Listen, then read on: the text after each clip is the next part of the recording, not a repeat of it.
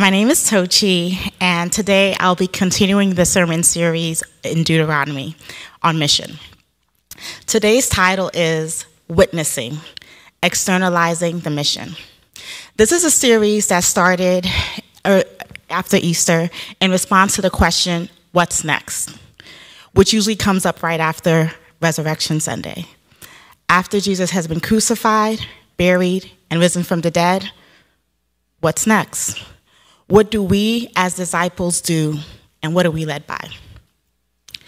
Part of this answer to the question comes in the verse today, Deuteronomy 6 1 through 9, which some of you may know as the greatest commandment. But before we dive into this commandment, let's look at the context. So last week, um, Pastor Tanetta preached on the Ten Commandments. After announcing the Ten Commandments, the greatest commandment is the first instruction that Moses gives to the people. This instruction comes after the people request Moses to stand in, as an intercessor between them and God. As an intercessor, Moses would be a bridge to God and the people, but also a bridge to the um, Ten Commandments and all the numerous other statutes that, and ordinances that follow the commandments. So, fast forward. When asked what the greatest commandment is, Jesus quotes the same scripture, stating that all law and the prophets have hang on this one commandment, and loving your neighbor as yourself is the next. So, this commandment serves as the full revelation of Jesus' life within the gospel and the basic tenet of all prophetic revelation prior to. Let's take a look. These are the commands that the Lord your God directed me to teach you, to observe in the land that you are crossing into, so that you, your children, and your children's children may fear the Lord your God and enjoy life by keeping the decrees I give to you. What decrees? Well, rather than repeat the whole Ten Commandments again, Moses states, Love the Lord your God with all your heart, all your soul, and all your strength. Before continuing to the rest of the scripture, let's try to unpack that first. As a lawyer, I have seen all kinds of laws. I've seen unfair laws. I've seen practical laws. I've seen unrealistic laws. And I'm also aware that there's probably certain things that you just don't legislate. So, at first instance, when I hear this commandment to love with all your heart, all your soul, all your strength, I wonder how do you enforce that? Is this something that can be taught, yet alone measured? You might think my concern is legislating love. And while I do have some questions on why love has to be legislated in God's kingdom, whether on earth or in heaven to come, I have a bigger concern. You see, at least love is clearly defined. Love is patient, love is kind. See 1 Corinthians 13 for the rest. or um, listen to the song by Lauryn Hill, Tell Him. That's actually even good too. But my actual concern is the extent that we are commanded to love. And quite frankly, whether I, me, Toochi, can live up to that. Yesterday, my husband asked me if I love unconditionally. I had to think about that because prior to becoming a mom, I never had the expectation for myself to love anyone unconditionally. As a partner, I love with boundaries. There's a list of things I just wouldn't accept abuse, infidelity. There's a, there's a list. but to be frank, I'm not sure that I love myself unconditionally. There are clear mistakes or crimes that if I committed afterwards, I'd have to question whether I truly valued myself. So when the command comes to love to the full extent possible, my initial thought is, well, that's inconvenient. Maybe even impossible. The inconvenience of this love is seen throughout the life and death of Jesus. How many times do you forgive? 77 times 7. Who will feed the multitudes? You. give them what you have and let God multiply the rest. When all the alcohol is at the party and it's not my yet time, it's not my time yet to start my mission, because the woman I love has asked me, I become vulnerable and I start this mission. So we've seen Jesus do it. You see, the problem is with this kind of love is that I'm not Jesus. And while I do often ask myself, what would Jesus do? The answer, which is always to love, because to be honest, that's always the answer, it's still a hard answer to arrive at. It takes effort, it requires communication, it's based on a commitment. And according to the scripture, it's also a commandment. This means that it's not something you do one day and then you off the hook the next day. Love is something that you have to show up with every single day and in every aspect of our lives. Let's break it down. Love is not conservative. Love is not moderate. Love isn't even liberal. It's far out there. It's radical.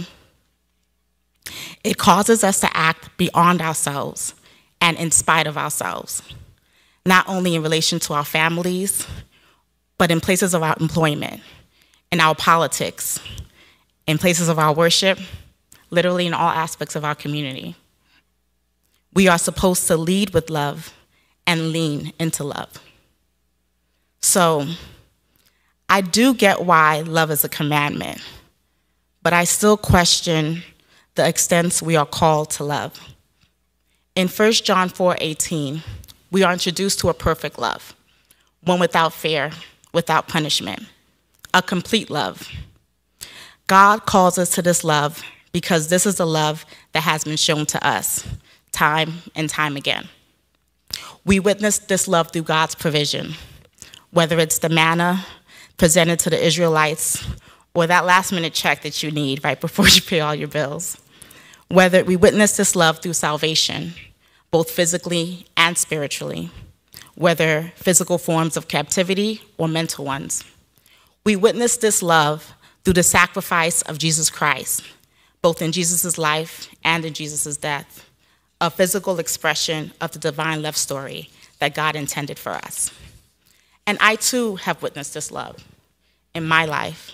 And I've seen countless number of times that God has shown up for me in a real and tangible way. And if I had the time, I would count, account for all of these instances. But I'm sure you have your instances in mind too. But if I'm being honest, that doesn't make loving God easy. I understand that love is not simply the internal admiration or awe that I have for God. Love requires me to go further. It has to be expressed outside of me and in spite of me. Love requires me to live up to the commandment that God asked to love with my, all my heart, all my soul, and all my mind.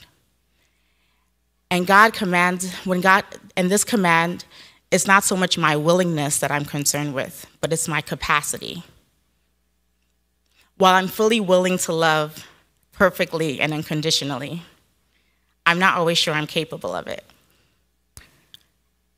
As a woman, matters of the heart can sometimes be overwhelming. I feel deeply, and as a result, I express myself in an intense way, which doesn't always come off as loving. As a human being, I constantly fight insecurities of worthiness, of whether I'm sufficient.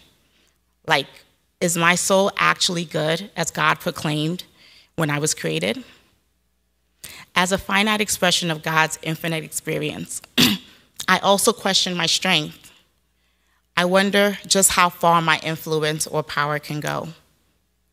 In essence, I'm not sure that my heart, soul, or strength is sufficient to love in the way that God is calling me to. I mean, commanding me to. And I feel like this, I imagine you probably feel like this too. Maybe your heart is broken from trying to love hard before, only to be let down and left behind. Maybe you struggle with mental health and don't have the stability to love in the way that meet your others' expectations. Maybe you're neurospicy and people just can't handle your love. The limitations are endless, and yet God's strength is made perfect in our weakness.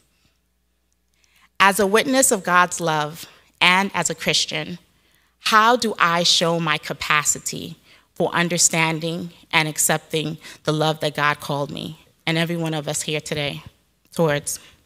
How do I radiate my faith in God's love such that it goes beyond my incapacities so that my children, my community, and the world can witness the perfect love too? God is not asking us to be perfect. God is asking us to get out the way and let love flow through us and, be, and let that be expressed in every opportunity. This is why the commandment is underlined by the ancillary requirement. So let's go back to the scripture. Impress these commandments on your heart, on your children's heart. Talk to our children about it at home, as we walk down the road, when we lie down, when we wake up. Bind them on our hands, on our foreheads, write them on the doors and on the gates. We are called to reaffirm, to remember, and to replay this commandment in our lives and our families' lives and our communities over and over again. When we bind them on our hands, it essentially becomes part of our identity, our legacy. Moses is instructing us to renew our minds to God's commandment so that it doesn't fall on deaf ears, but rather on fertile ground so that it can become implanted within us. In our society, there are so many broken records that crowd out God's commandments to love. There are marketing strategies that are targeted to make us feel less than or lie to us about what real love is. There are media streams that demonize citizens of other parts of the world or even other specific members of our society. There are, there are systematic forms of oppression and isms that rob black people and people of color, women, queer people, poor people, and old people of their humanity. Unless we constantly are on alert and choosing to love, we can easily fall prey to any and all forms of discrimination because, unfortunately, in our society, it's in the air that we breathe, the water that we drink, the music and the discourse that we listen to, and the images that we are bombarded by. It is so overwhelming that unless we impress God's commandments in our lives and in our children's lives, we'll forget the greatest commandment of all is ultimately to love. This is an individual mission, yes, but it's also a corporate one. As a church, we commit to justice, liberation, and human dignity of all God's people. This mission is renewed every Sunday in this building, and it's expressed outside of this building every day of the week. We help those who suffer injustice and empower them to claim their voice. This commitment to justice and liberation is revealed in our lifestyle, our economics, our politics, our culture, our communities. It's expressed in our love. This is not just our mission statement, it's our ministry, a worship that we practice and impress on our hearts and our children's hearts. We bind God's commandments on our hands and we write them on the doors and on our gates. We walk it out more than we talk it out. And yes, it all points back to Jesus. While I started this um, discussion with Moses, we also have to see the full scope of the story with Moses. While Moses proclaimed God's commandment to love with all your heart, soul, and strength, he still had some limitations. Moses ultimately fell short by failing to live up to God's commandments.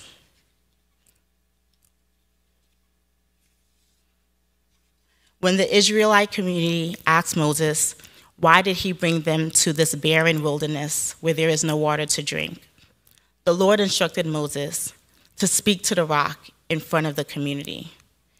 But in his midst of anger and frustration, Moses told the community, Listen, you rebels, must we bring you water out of the rock? Rather than speak to the rock as commandment, he struck the rock twice, and water gushed out. Yes, water ultimately came, but Moses didn't lean in on love. He was led by anger and impatience. God's love still flowed out in the form of water, but unfortunately not through Moses, in spite of him. This shows that love isn't ultimately a destination or an outcome. It is the way of life. It's the way we live each and every day in faith. Where Moses fell short and failed to see God's promise, Jesus lived out God's love literally to his death so that we can see what God's love and promise looks like, not solely as a commandment, but as a commitment in spite of our limitations. Through God, we too can love unconditionally, as God loves us unconditionally. And the way is through Jesus. I would like to leave you with one tangible yet tall measure of how to really determine whether we are rising to the invitation to love and love more fully. If the families we are a part of, if the communities we reside in, if the institutions that we make up do not reveal this radical love that Jesus called us to, that led Jesus to the cross, then let's accept and understand that there's still more work to be done, that there's still more love for us to do.